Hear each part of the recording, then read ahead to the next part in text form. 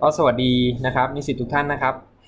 เเดี๋ยวลองดูว่ามันจะใช้ได้ผลหรือเปล่านะในวันนี้นะครับ จะเพิ่มเติมนะครับในส่วนที่เป็นเนื้อหาเกี่ยวกับการเคลื่อนที่ของน้ำนะครับ ในดิน เดี๋ยวผมขอปิดไฟล์นิดนึงขอปิดตัวกล้องนิดนึงนะครับ จะได้สะดวกในการทำงานนะครับอ่านะครับ อันนี้ก็จะเป็นภาพที่ผมได้บรรยายนะครับอาจจะเดี๋ยวขอพูดซ้ำนิดหน่อยละกันว่าในส่วนของข้อจำกัดสมการดาร์ซี่นะครับที่จริงมีอยู่แล้วในอีกคลิปหนึ่งนะครับ ก็จะพูดถึงประเด็นว่าการเคลื่อนที่ของน้ำในดินเนี่ยนะครับถ้าเราอยากจะใช้สมการดาร์ซี่ซึ่งเรียกได้ว่าง่ายนะครับในการที่จะอธิบายถึงการไหลของน้ำเนี่ยมันไม่ได้ใช้ได้ทุกใน ทุกกรณีนะครับ จะต้องมาพิจารณาว่าใช้ได้ก็ต่อเมื่อเนี่ยลักษณะการไหลเป็น laminar flow นะครับลักษณะ laminar flow นะครับผมได้บรรยายไปแล้วนะ ผมขอข้ามส่วนนี้ไปล้วกันนะครับ ซึ่งนิสิตสามารถไปติดตามดูได้นะครับว่า เนื้อหาส่วนนี้เกี่ยวข้องกับการเคลื่อนที่ของน้ำในดินอย่างไรนะครับ เอาเป็นว่าจะต้องมั่นใจก่อนว่าการเคลื่อนที่ของน้ำจะต้องมีลักษณะเป็น laminar flowซึ่งส่วนใหญ่แล้วเนี่ยเราจะพบในดินที่อิ่มตัวด้วยน้ำนะครับ ก็จะเข้ากรอบอันนี้ถึงจะใช้สมการดาร์ซี่ได้นะครับ นะนี่คือเป็นการคำนวณ Reynolds number นะซึ่งผมได้นำเสนอไปแล้วนะครับ ว่ามีวิธีการคิดคำนวณอย่างไรนะครับ ต่อมานะครับจะมาขอพูดตรงนี้นิดนึงนะครับว่าในกรณีของอการเคลื่อนที่ของน้ำในดินที่เราใช้ค่าจากสมการดาร์ซี่นะครับก็คือด้านบนนี้นะฮะตัวนี้คือสมการดาร์ซี่นะครับครับอันนี้คือดาร์ซี่ equation นะครับ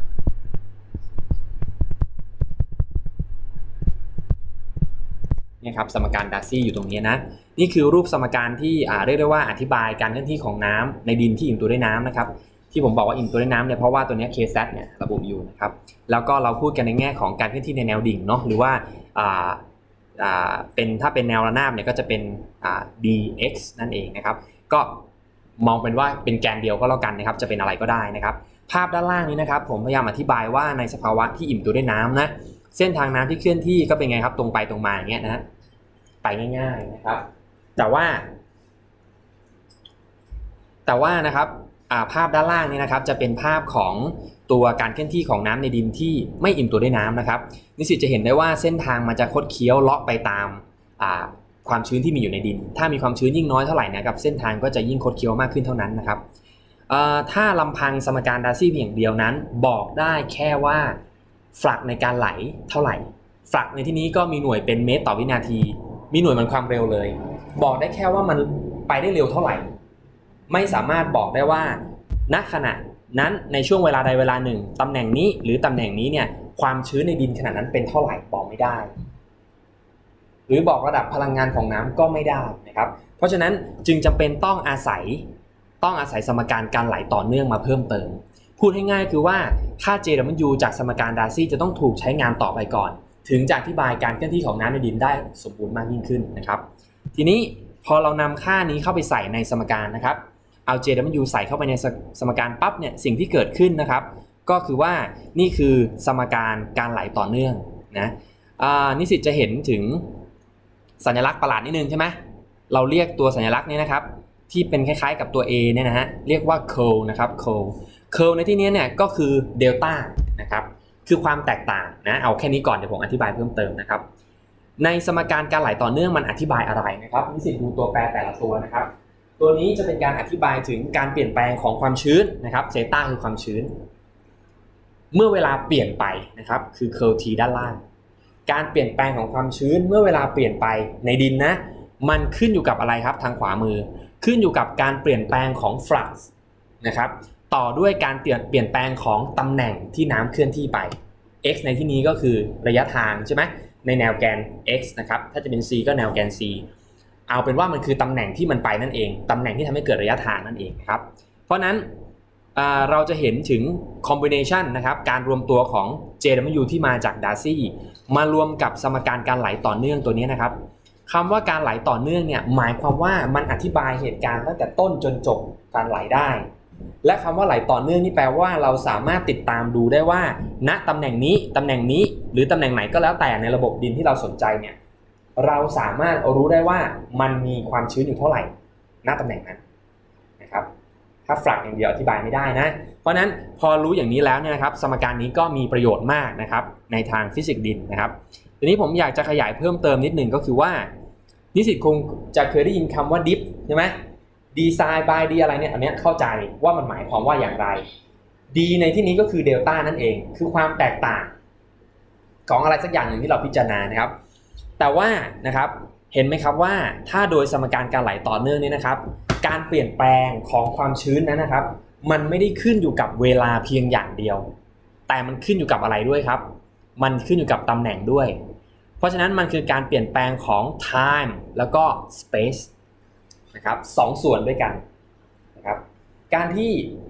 ตัวแปรหนึ่งวิ่งตามปัจจัยที่มากกว่า1นะครับเราจะใช้สัญลักษณ์ d ตัวเล็กอีกต่อไปไม่ได้แล้วนะครับ เราจึงต้องขยับมาใช้สัญลักษณ์ curl แทน เพราะนั้นโดยความหมายนี้คืออะไรครับ มีความหมายไม่แตกต่างจาก d เลย มันอธิบายการเปลี่ยนแปลงของเซตาที่เกิดจากใครครับ ที่เกิดจากเวลา และอะไรครับ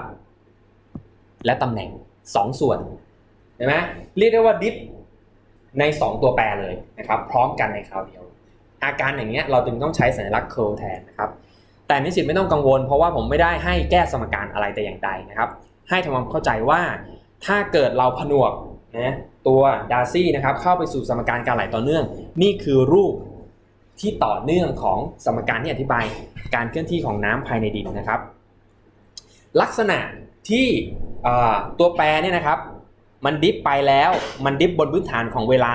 และ space หรือว่าตำแหน่งตัวนี้นะครับ มันเป็น 2 ส่วนด้วยกัน เพราะฉะนั้นมันคล้าย ๆ กับว่าดิฟบนอันนี้ส่วนหนึ่งแล้วก็ดิฟบนอันนั้นอีกส่วนหนึ่งมีอาการว่าเป็นบางส่วนใช่ไหมครับ บางส่วนในที่นี้ภาษาอังกฤษก็เรียกว่า part หรือว่า partial ตรงนี้ครับ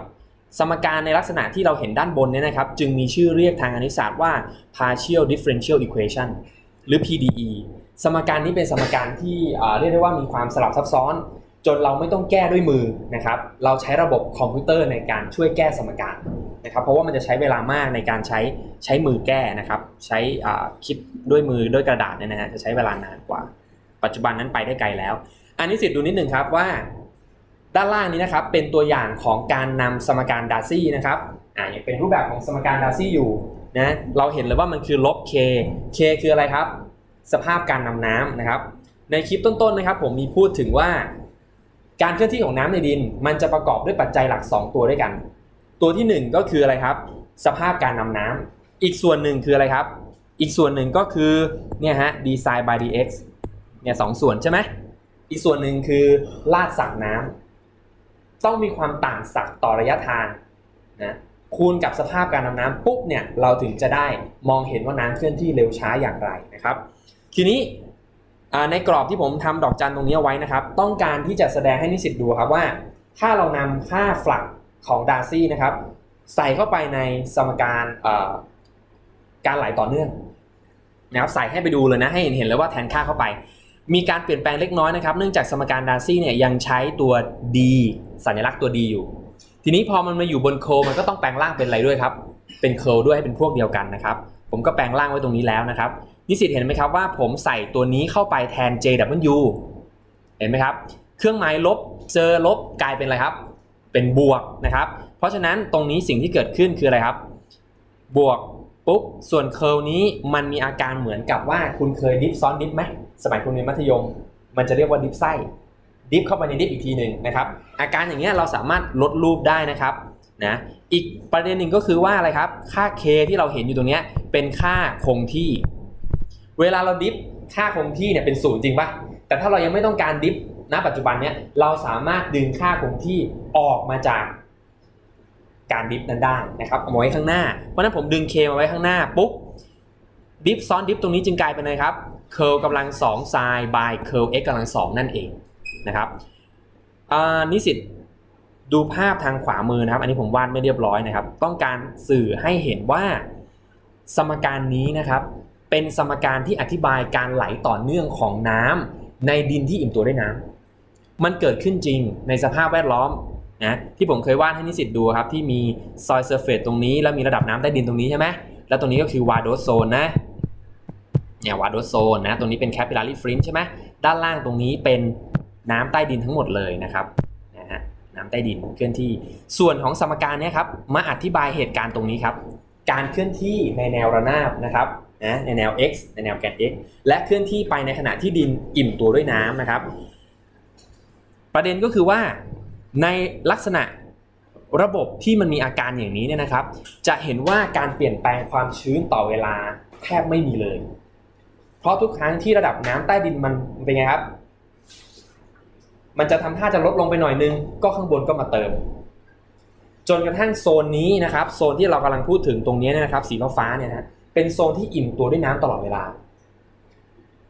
แปลว่ามีการเปลี่ยนแปลงของความชื้นต่อเวลาไหมครับ ไม่มี การเปลี่ยนแปลงของความชื้นต่อเวลาไม่มี จึงทำให้เทอมที่อยู่ทางด้านซ้ายมือเนี่ยฮะ การเปลี่ยนแปลงความชื้นต่อเวลามีค่าเป็นศูนย์สมการนี้ลดลูกออกมาครับ เหลือ เหลือแค่นี้ครับ k กำลัง2 sin by curl x กำลัง2นะครับ มีค่าเท่ากับ 0 ครับ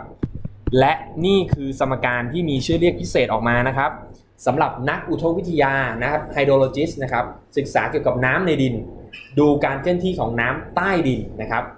ตัวนี้จะเป็นสมการที่เรียกว่า Laplace equation ครับ อันนี้เป็นตัวอย่างของแอปพลิเคชันอันหนึ่งของสมการดาร์ซี่ซึ่งไปรวมกับสมการการไหลต่อเนื่องอธิบายการเคลื่อนที่ของน้ำใต้ดิน จากภาพตรงนี้นะครับ มันบอกอะไรเราไหมครับว่า ในในเรื่องของน้ำใต้ดินอันนี้ง่ายเลย เพราะมีเทอมหนึ่งกลายเป็นอะไรครับ เป็นศูนย์ในความเป็นจริงแล้ว ถ้าเกิดดินไม่อิ่มตัวด้วยน้ำเทอมนี้จะเป็นศูนย์ไหมไม่ มันจะมีค่าออกมาเลยจริงไหมมันจะมีการเปลี่ยนแปลงความชื้นต่อเวลาที่ไม่เป็นศูนย์ดินแห้งแค่ไหนในสภาพธรรมชาติก็มีอะไรอยู่ครับ มีน้ำอยู่จนกว่าเราจะเอามาอบที่อุณหภูมิ105องศาน้ำจะหายไปนะครับ เพราะฉะนั้นสมการที่อธิบายการเคลื่อนที่ของน้ำในดิน จึงมีความสลับซับซ้อนมากกว่าในน้ำใต้ดินโอเคไหมครับต่อนะครับต่อ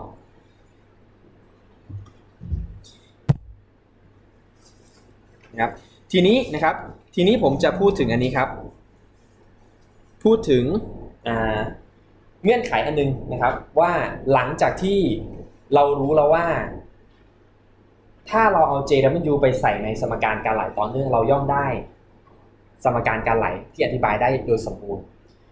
คำถามก็คือว่าเมื่อสักครู่นี้เป็นระบบที่อิ่มตัวด้วยน้ำแล้วถ้าดินไม่อิ่มตัวด้วยน้ำหลัก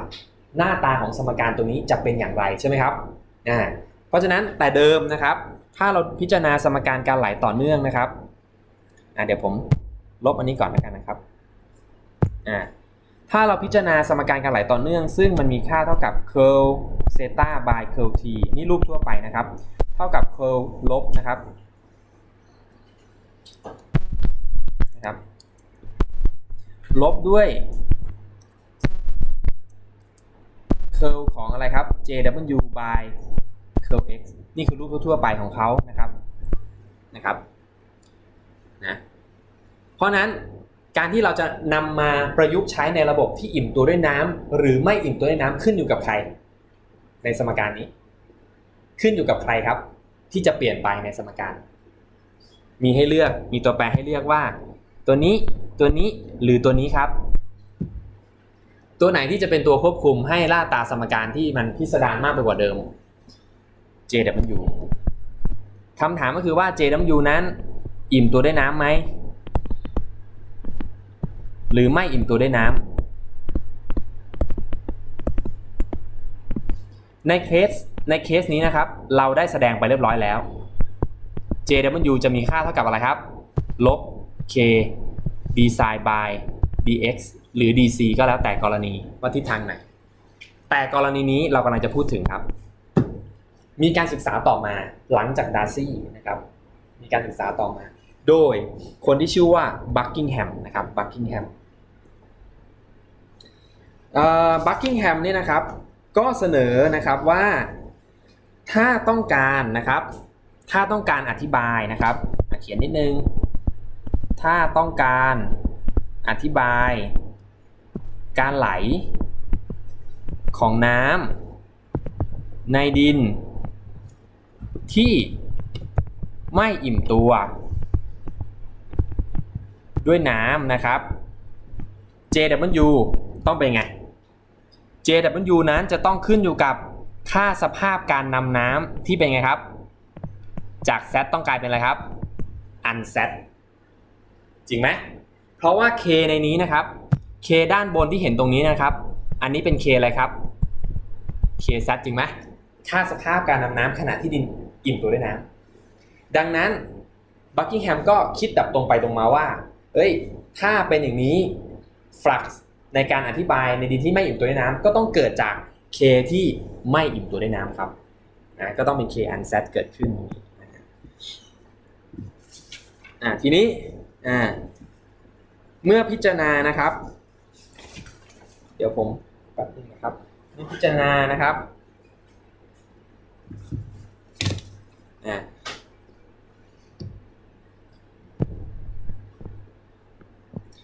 สิ่งหนึ่งที่เกิดขึ้นเมื่อดินไม่อิ่มตัวด้วยน้ำคืออะไรครับ มันจะมีอากาศแทรกตัวเข้าไปในดินจริงไหมมีอากาศแทรกตัวเข้าไปในดิน อากาศในที่นี้นี่เองนะครับ ที่เป็นตัวการทำให้ค่า K ของเราจะต้องเปลี่ยนไปนะครับ กลายเป็น K unset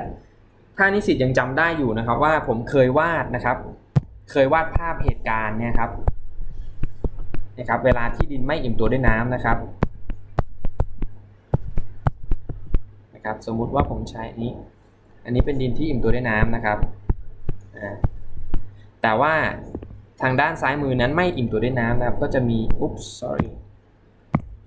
สีไหนนะครับนะฮะมีความชื้นอยู่ปะปลายนะครับ แล้วก็มีช่องว่างอยู่ด้วยนะครับ ตรงไหนที่มีความสีขาวนะ ก็แปลว่ามันมีช่องว่างอยู่นะครับ เพราะนั้นทางด้านนะฮะอันนี้การเคลื่อนที่ก็แบบนี้ใช่ไหมครับ แต่ถ้าเป็นอย่างนี้ปุ๊บมันก็จะต้องมีการเลาะไปตามอ่านะฮะ เคยวาดให้ดูนะครับ เพราะนั้นตัว k นะครับ ค่า k ของมันนะครับ อันนี้เป็น k set นะครับ ฝั่งนี้ก็ต้องเป็น k unset นะครับ เรียกอย่างนี้ เรียกอย่างนี้มันไม่เท่นะครับคำว่า k unset นั่นหมายความว่าค่าสภาพการนำน้ำเนี่ย มันเปลี่ยนแปลงไปตามระดับความชื้นที่มีนะครับ เขาก็เลยเรียกชื่อใหม่นะครับว่าเป็น k ในลักษณะฟังก์ชันของความชื้นอ่าหรือ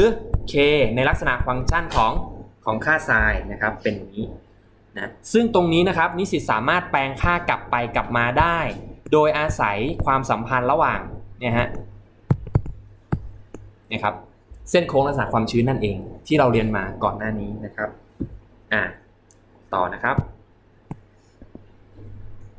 เดี๋ยวนะพยายามติดตามให้เห็น point นะอย่าเพิ่งสนใจตัวสมการนะครับมันมันมัน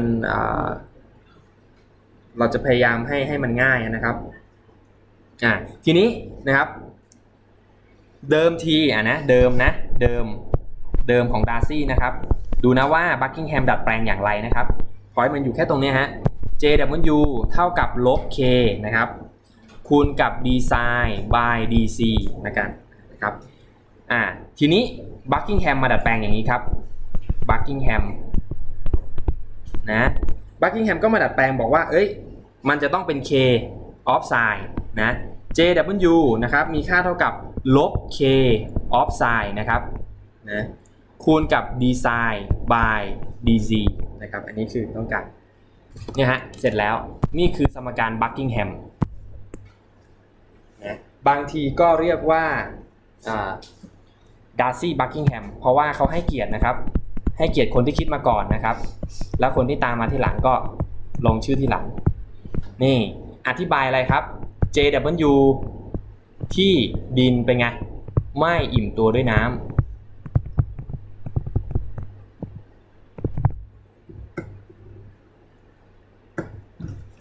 ทีนี้ผมจะเขียนรูปทั่วไปนะครับของสมการ Darcy Buckingham ให้ดู 2 ระบบนะครับ ก็คืออ่า horizontal flow นะครับ ผมใช้ตัวย่อนะ Darcy Buckingham dB แล้วกันนะครับ equation นะครับ อ่า ในกรณีที่เป็นอะไรครับ ถ้า horizontal flow นั้นเป็นการเคลื่อนที่ในแนวไหน ในแนวแกนอะไรครับ แนวนี้ใช่ไหม horizontal flow แนวระนาบแกน x นะครับ ลักษณะของสมการจะหน้าตาแบบนี้ครับ jw จะมีค่าเท่ากับลบนะครับ k เขียนไปก่อนนะ เดี๋ยวผมอธิบายให้ฟังนะครับ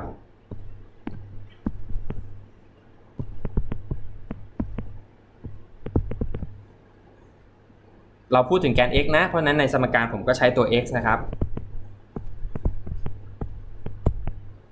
เดี๋ยวผมอธิบายตรงนี้นะครับ มันอันนี้ไม่ได้ยากอะไรนะครับ ถ้าเรายังจำในส่วนของศักย่อยนะครับ พลังงานศักย่อยได้นะครับ อ่านิสิตดูนี่ครับ ตัวสมการนั้นนะครับ มองกว้างๆเนี่ยมันก็คือค่า k ใช่ไหมคูณกับ design by dx นั่นเอง แต่ว่าคำว่า design เนี่ยนะครับ ตัว sin ในที่นี้เนี่ยมันเป็น total potential เพราะฉะนั้นมันย่อมมีองค์ประกอบภายในจริงไหมครับ มันย่อมมีองค์ประกอบอยู่ข้างในนะครับ ทีนี้พอเรามาตีองค์ประกอบอยู่ภายในนะครับ นิสิตเห็นไหมครับว่ามันจะมี sin g จำ sin g ได้ไหม เกิดจากอิทธิพลของแรงโน้มถ่วงโลกนะครับ ในกรณีที่เรามองการเคลื่อนที่ในแนวระนาบนี้นะครับ ทุกจุดที่อยู่ในแนวระนาบนี้นะครับ จะได้รับอิทธิพลของแรงโน้มถ่วงเป็นไง เท่ากันจริงไหม จึงทำให้ sin g ไม่มีบทบาทนะครับ ตรงนี้กลายเป็น 0 ในขณะที่ osmotic potential ที่เกิดจากเกลือ สมมุติว่าเราทำการศึกษาหรือว่าทดลองในในดินที่ไม่ได้มีความเค็มนะครับ ตรงนี้ก็จะกลายเป็นอะไรด้วยครับ เป็นศูนย์ด้วยดินปกติทั่วไปนะครับ จึงทำให้ค่า JW นั้นลดรูปลงมานะครับ เหลือเพียงเท่านี้ครับ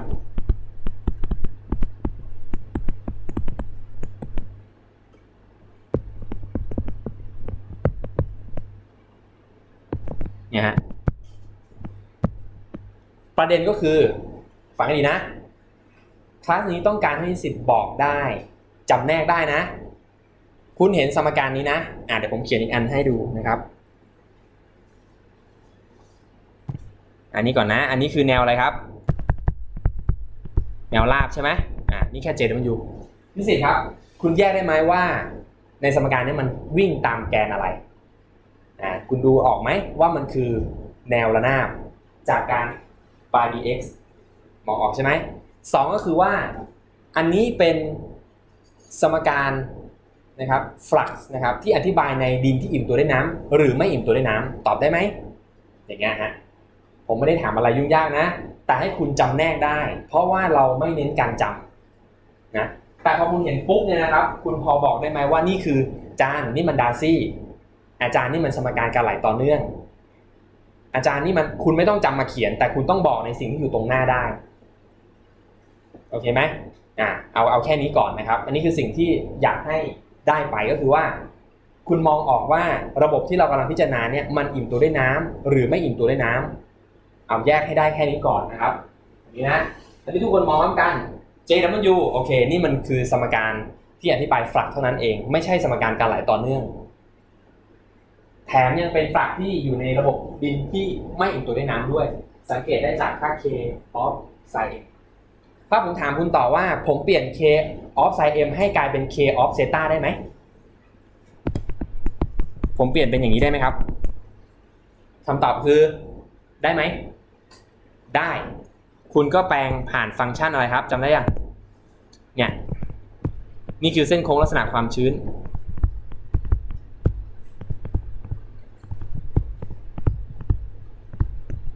นะครับที่สามารถแปลงผ่านอันนี้ได้นะครับนะเพราะฉะนั้นออมองสมการปุ๊บบอกได้ว่านี่มันจะอธิบายปรากฏการณ์อะไรนะครับ แบบไหนนะอีกอันหนึงนะครับ ผมใช้ตัวย่อเหมือนเดิมนะครับ d ขีด b นะครับ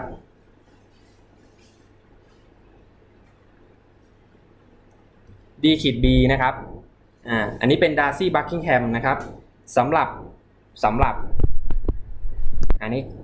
ตัวนี้มันมาสักพักหนึ่งแล้วนะ vertical flow เอางี้แล้วกันนะครับ เดี๋ยวในคลิปหน้านะครับ ตัดเวลาออกสักหน่อยหนึงนะครับ เราจะมาพูดถึงดาร์ซี่บัคกิงแฮมสำหรับ vertical flow ครับสำหรับคลิปนี้เอาไว้แต่เพียงเท่านี้ก่อนนะครับเดี๋ยวผม